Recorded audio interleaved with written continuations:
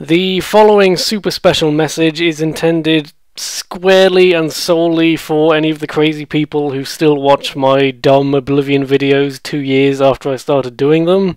Uh, hello, how are you doing? Nice haircut. Chitter chatter aside, Oblivion and such, yes. As I mentioned, I've been doing it for two years, approaching 50 episodes, and uh, if you look at the playlist, I've spent a terrifying amount of time just doing those videos. And um, the thing is, I enjoy doing them, and there seems to be a strange cult like group of people who really enjoy every single thing I ever do in Oblivion.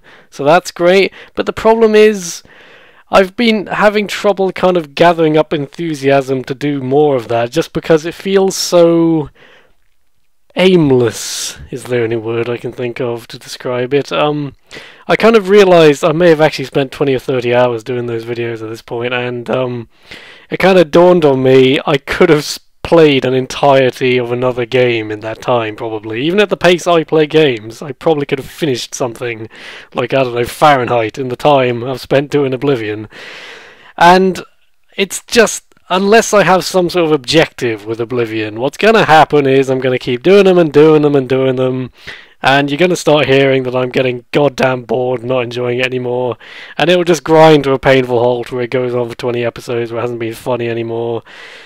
But what I'd rather happened is that I found a goal that Rexy can do, that is unique to Rexy, that feels specific to him, like getting all of the lizard lassies in the world and having some sort of big giant pool party and wet t-shirt contest. Something like that. That I can say, this is my end game goal. Let us work towards this. And I've been trying to come up with something like that. Some sort of conclusion to work towards and eventually end the show on. That would like be a nice satisfying ending. And I've just been trying to come up with something and I, I cannot. I, it is very Probably the worst thing, in fact, is that I, I think the best idea I could have ever had would be to end it all with the big rescuing Dharma from the cultist episode. That would have been a great ending. I could have just said that they shacked up and happy ending forever for Rexy. But no, I've already done that. I kind of blew my load on that one, so to speak. So uh, I'm fresh out of ideas, and the point now of me making this video and rambling at you for several minutes, as you're probably used to me doing by now, point is, I am outstretching the olive branch of cliched metaphors to you, the audience, and asking, how do you think a good ending would be for the grammar that I'm trying to ask a question with? To put it in English, how do you think Oblivion should end?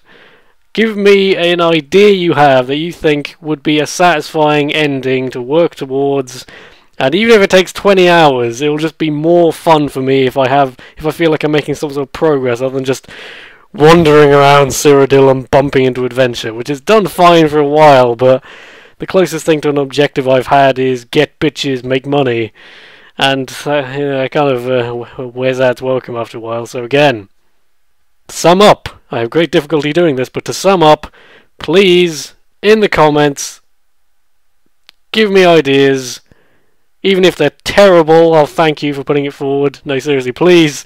I will be as not mean to you as as humanly possible is. i have been told I'm apparently capable of um, saying nice things to people. So yeah, just something like even something like finish the main quest. That's probably the most predictable option, and because um, because the whole game started with the main quest, it would have a certain certain continuity to it there, but it was just uh, I just remember there's a lot of really long, boring dungeons, and it would also mean losing Martin, who is by far the best thing to ever happen to those videos. Him picking his nose all the time and being generally a far better combatant than Rexy. I don't know, something involving Wilson would probably be good. Some sort of band renaissance. I don't know. You can see this has been the entirety of my thought process for the last year. Has been trying to come up with this, and so it just now dawned me to get help from the really important people, you crazy losers who still watch these videos. So yeah, there you go. Please let me know whatever ideas or fragments of ideas you have. And I will see. Let us all pool together, comment on each other's terrible ideas, and see if something adequate cannot come out at the end of it, okay? This has been a sufficiently pointless ramble. thank you for your time. Thank you for your scary, undying love of the, the shit I do. And uh, hope you have a nice day or night or whatever you're watching this. And uh, yeah. Bye, I guess.